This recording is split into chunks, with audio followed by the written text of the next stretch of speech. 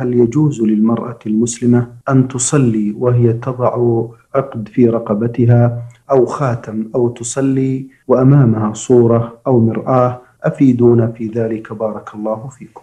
يجب على المسلم أن يبتعد عن كل ما يشغله عن صلاته ويشوش عليه فلا ينبغي أن يصلي إلى مرآة أو إلى باب مفتوح. أو غير ذلك مما يشغله ويشوش عليه صلاته. وكذلك من ناحية الصورة لا ينبغي للإنسان أن يصلي في مكان فيه صور معلقة أو منصوبة لأن هذا تشبه بالذين يعبدون الصور.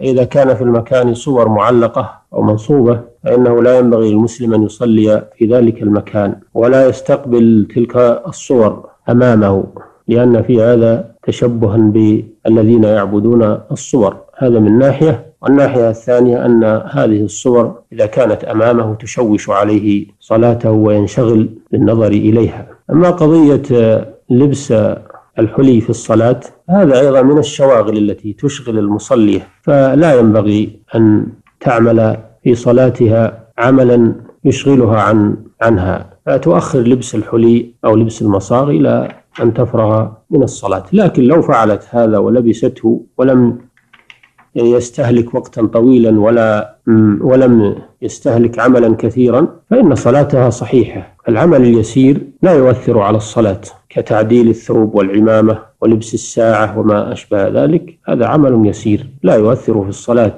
وإن كان ينبغي للمسلم أن يتفرغ لصلاته وأن يقبل عليها.